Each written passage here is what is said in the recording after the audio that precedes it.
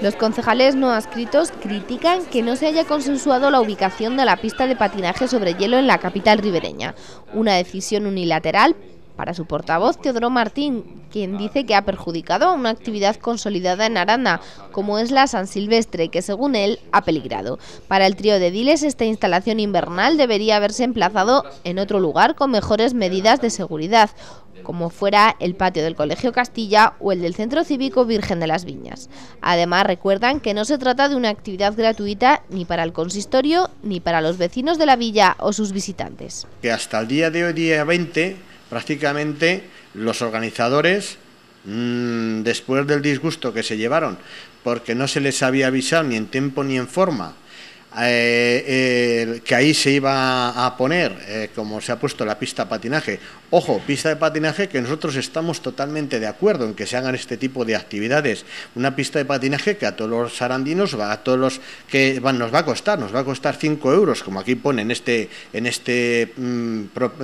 proyecto, digo, en este panfleto que nos han dado de propaganda, 5 euros nos va a costar a cada arandino el participar en esa actividad cada vez que queramos y no se les ha avisado y no había un lugar ni había un sitio donde realmente se podría utilizar, se podría hacer con garantías. Casi eliminan la San Silvestre, que creo que es algo para mí y para muchos arandinos tan importante más que cualquier otra actividad, ¿eh? pero sobre todo siendo el fin de año con más entidad eh, de sola, sino que además yo considero y consideramos desde los no escritos que no es el lugar más idóneo para poner eh, lo que va a ser la actividad de la pista de patinaje. Y que no olvidemos que nos va a costar, a, independientemente de los 25.000 euros que va a pagar el ayuntamiento, también nos va a costar a cada vez que lo utilicemos 5 euros. O sea, que no va a ser una, una actividad gratis. La carrera popular de la San Silvestre, anotaba Martín, congrega cada 31 de diciembre en Aranda a más de 2.000 participantes, por lo que agradece a los voluntarios que la hacen posible, como los del Cuerpo de Bomberos, su esfuerzo para sacarla adelante. Por otro lado, denuncian que en el programa de actividades navideñas editado por el ayuntamiento se sitúa algunas en la Plaza Mayor, cuando finalmente no van a poder desarrollarse en esta ubicación que alberga la pista de patinaje sobre hielo.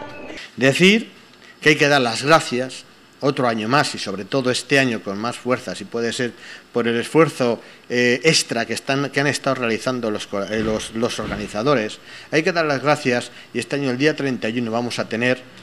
otra San Silvestre, del 2010. Pero critico y vuelvo a criticar que no puede ser que hoy que nos llegan este plan de actividades del ayuntamiento, vienen contempladas en, en el mismo lugar que es en la Plaza Mayor, varias actividades que no se van a realizar en la Plaza Mayor, que no se van a realizar en la Plaza Mayor. Y por eso nuestra crítica a este equipo de gobierno.